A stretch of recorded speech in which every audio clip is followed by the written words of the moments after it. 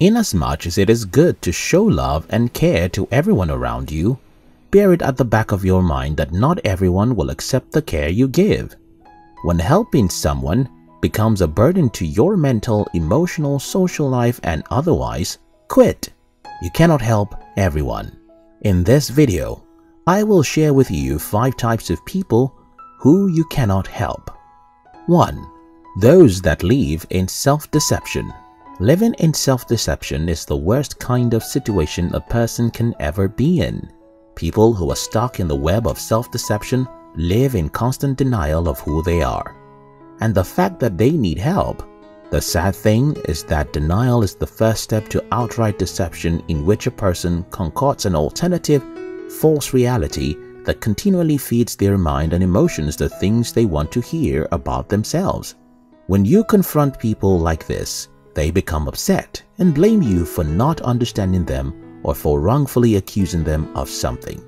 According to writer Anya Light, if a person is stuck in a place of denial to their sufferings or their addictions or stuckness, then there is a strong possibility that what you say won't make a bit of difference. Denial is an incredibly strong force, and if your worldview differs too much from theirs, then it may not be your place to plant any seeds of wisdom. It may be your place to step back from trying to speak at all.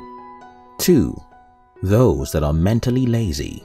Trying to help an intellectually lazy person is quite tiring. This is because even when you tell him or her what to do, you still need to explain in detail how to carry out the task.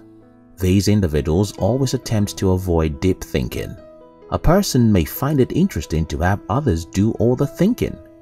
However, the more he or she engages in mental lousiness, the worse his or her thinking abilities become. Like any muscle, if you don't use your mental muscle, it gets weaker. And when the muscles become fragile, the person who has been doing all the thinking becomes more burdened. Another downside of attempting to help a mentally lazy person is that since they do not seek to consider things, they will never correct you even when you make mistakes.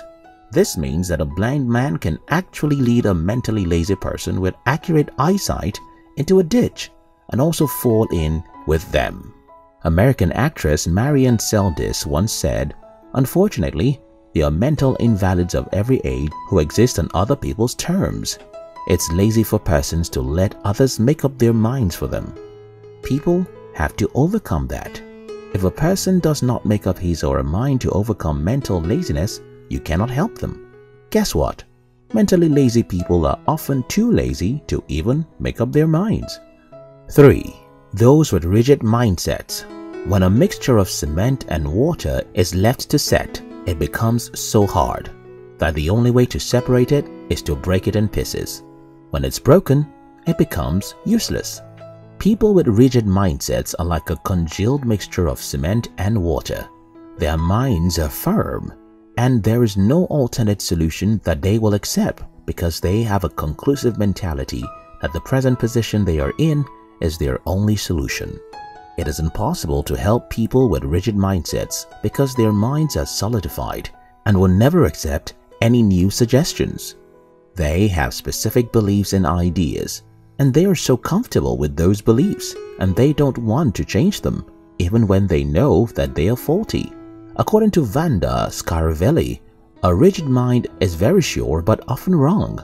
The flexible mind is generally unsure but often right. The most significant disadvantage about attempting to help a person with a rigid mindset has to be that their rigidity won't let them even accept that they need help. 4. Those who never admit their fault. Have you attempted fixing the mess caused by someone who still blames you for the mess? It's similar to the Christian story about the fall of man. As the story goes, the Creator asked the man, What have you done? But the man responded, It is the woman who you gave me that made me eat the fruit.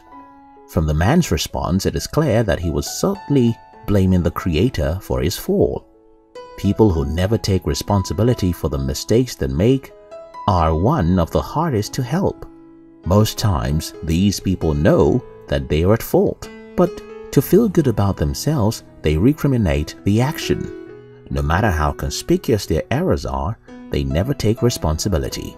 Instead, they look for other people and situations to blame and fault others for any mess they manage to admit.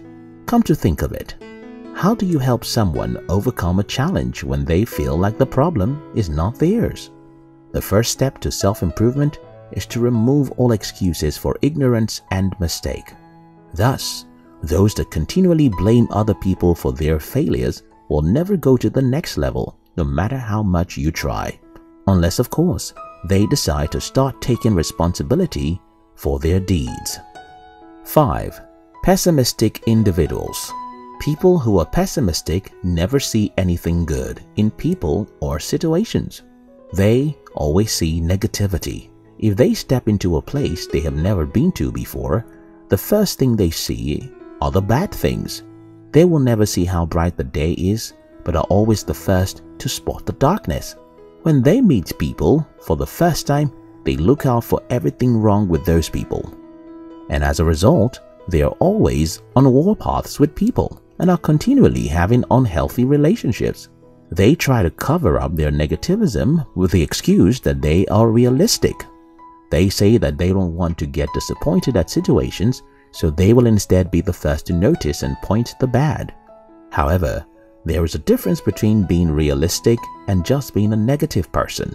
Inasmuch as a realist prepares for the worst, he also expects the best. But then, the pessimistic individual always hopes for the worst. If their predicted evil happens, they are so quick to say, I told you so. And if the circumstance takes a different turn, they will still foresee negativity.